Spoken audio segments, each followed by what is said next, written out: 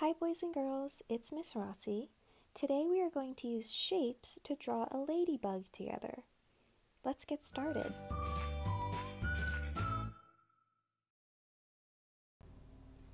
The shapes we are going to focus on today to make our ladybug are circles. So the first thing we're going to do on our blank piece of paper is draw a circle with our pencil. I'm going to draw my circle nice and big in the center of my paper, and that's going to be the body of my ladybug. My circle doesn't have to be perfect, just try your best. Once you have your circle nice and big, we're going to add a half circle on the top. This is going to be for the head of our ladybug. To draw a half circle, you are starting at one edge of our larger circle, and we are making a curve that is coming back down, kind of like a frown all the way back down to the other edge of our circle. I'm going to add two circles inside my head, and those circles are going to be for my eyes. And if I want eyeballs inside my circle, I can do two more half circles. These are going to come down from the top inside my eye shape and back up like a smile line to make the inside where my ladybug is looking.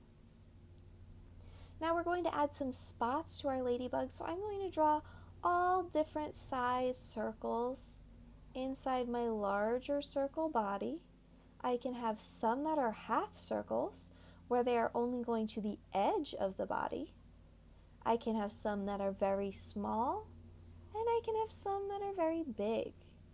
I'm just going to fill up my ladybug's body with a bunch of different circles.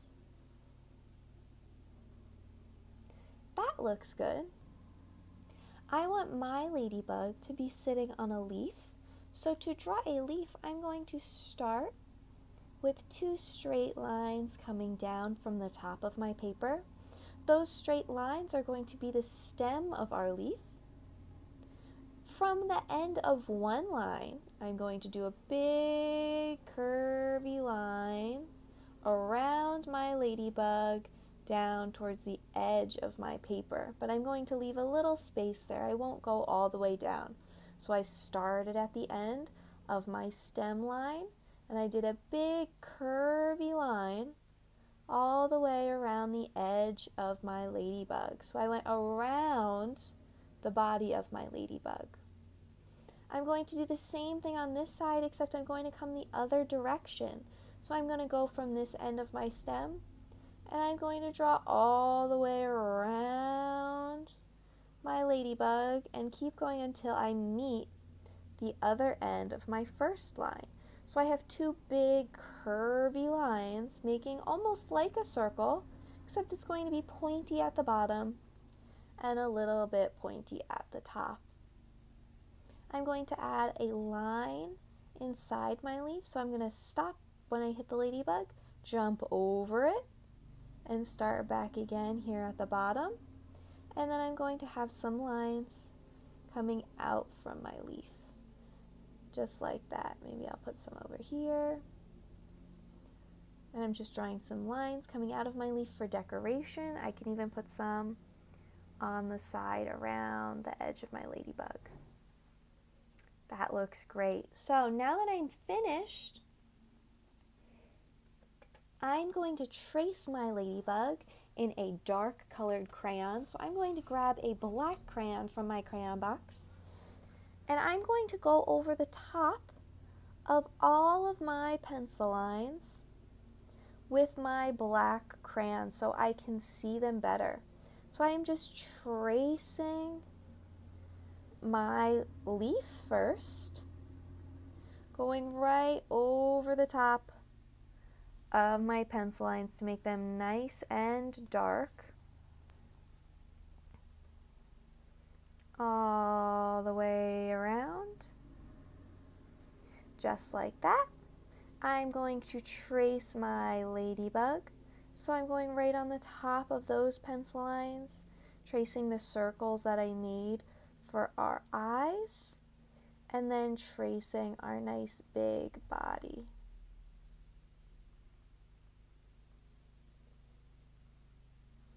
And I'm going to trace all of the spots on my ladybug also. So I'm drawing right over the top of my pencil lines to make my pencil a little bit darker so it's easier to see. If you make a mistake and you miss your pencil line, that is okay. Once we start to color, you won't even be able to see that. I'm not going to trace my lines inside my leaf. I'm actually going to trace those in a nice dark green color. So then once I color in my leaf, it's going to be easier to see.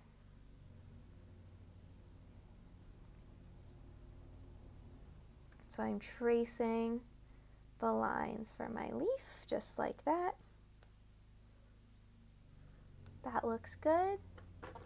And now I'm going to start coloring in my ladybug and my leaf. I'm going to make my leaf a light green color. You can make yours whatever color you would like. And I'm just going to go back and forth with my crayon, being sure to color inside the lines. I'm not scribbling, I'm doing my absolute best coloring to keep my picture nice and neat. I'm going around my ladybug with my green crayon because my ladybug is going to be red. I don't want it to be the same color as my leaf. So I'm going around my ladybug nice and carefully as I'm coloring. There we go, that is all filled in. I didn't leave any white space. I'm going to get a red to color in my ladybug. And with my red crayon, I'm going to color in my ladybug's body, but I'm going to go around the dots that I made. I'm going to go around those circles because those circles are going to be black. So I'm going to color very carefully inside my ladybug, being sure to go around those circles so I don't color those in by accident.